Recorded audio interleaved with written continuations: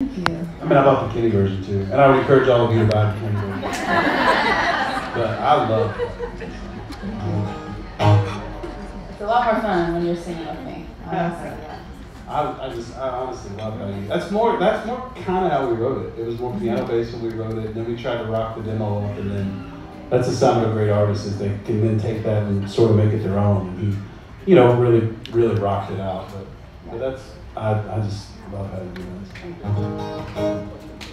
Well, this song, yeah, please applaud her. Thank you, Fanny. Thank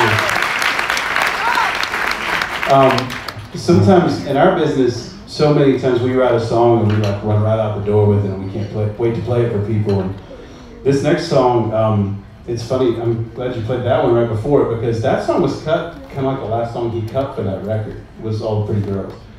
And, um, and, and we all had kind of heard he was finished with that album.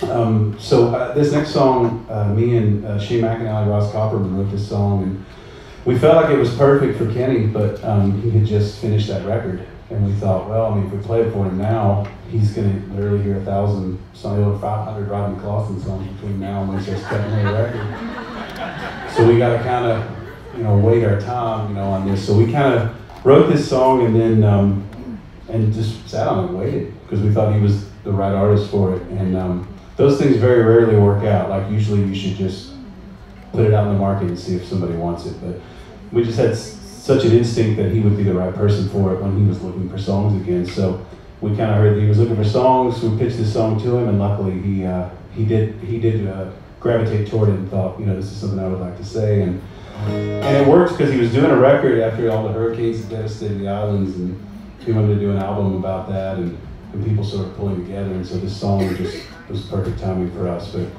this is a song I'm really proud of. I've, always loved this one. It's one of my favorite ones I've been a writer on. It's called Get Along.